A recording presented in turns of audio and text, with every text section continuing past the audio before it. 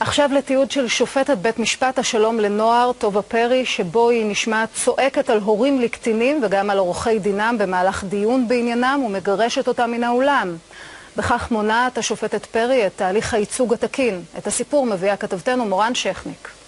הגענו לעצם הדיון, אה, ומשם אה, ממש שתיים שלוש דקות בתחילת כבר הדיון נזרקנו מהאולם. היא אמרה, אני לא מוכנה לשמוע את העדים שלי, תצאי לי מהעולם, בצעקה כזאת. אלה רק שתיים מהעדויות שהגיעו אלינו על שופטת בית משפט השלום לנוער טובה פרי. שתיהן של אמהות לקטינות שהשופטת דנה בהוצאתן מהבית. שתיהן סיפרו לנו שהיא זרקה אותן ואת עורכי דינן מהדיון, בלי לשמוע את טענותיהן. לא היה מפריע לי כל כך שהיא מוציאה אותי מהאולם, למרות שלא פציתי פה בדיון. אבל את באת כוחי, את עורכת הדין שלי, היא מוציאה מהאולם אה, יחד איתי. ומקיימת דיון חד צדדי. אני נתקלתי בהרבה מאוד מקרים אה, של אה, השופטת טובה פרי.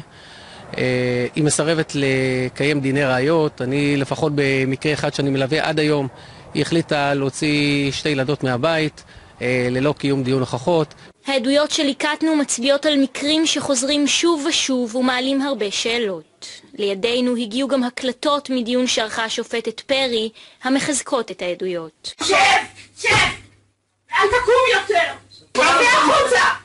עכשיו צא החוצה! אני לא דיברתי. צא החוצה! לא ברור לי באיזה עזות מחצח היא ממשיכה להשליך, פשוט לזרוק עורכי דין והורים שנמצאים במצבים הכי קשים שלהם. לא ברור לי איך השופטת טובה פרי היחידה מבין השופטים שאני מופיעים אצלהם במשך השנה האחרונה.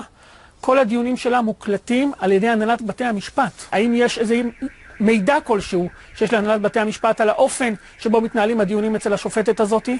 לידינו הגיעו גם פרוטוקולים שאסור לנו לחשוף, פרוטוקולים שבהם נכתב מפורשות שהשופטת פרי מבקשת להוציא את עורכי הדין ולקוחותיהם מהאולם. הרגשתי שאני, מוז...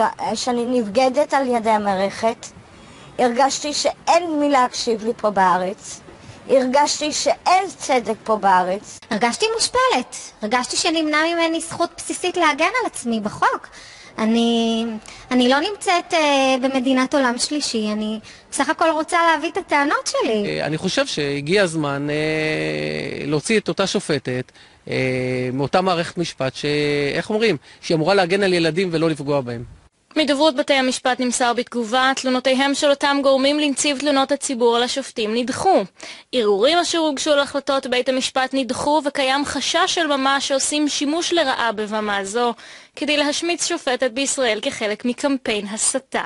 השופטת עושה מלאכתה נאמנה והיא כפופה בהחלטותיה לערכאת ערעור ובהתנהלותה לגורמים הממונים במערכת בתי המשפט. היות שמדובר בתיקי בתי משפט לנוער החסויים לפי דין, לא נוכל להתייחס לגופם. שבועיים אחרי שחשפנו כאן במבט כי עדר הגמלים שגרם לשתי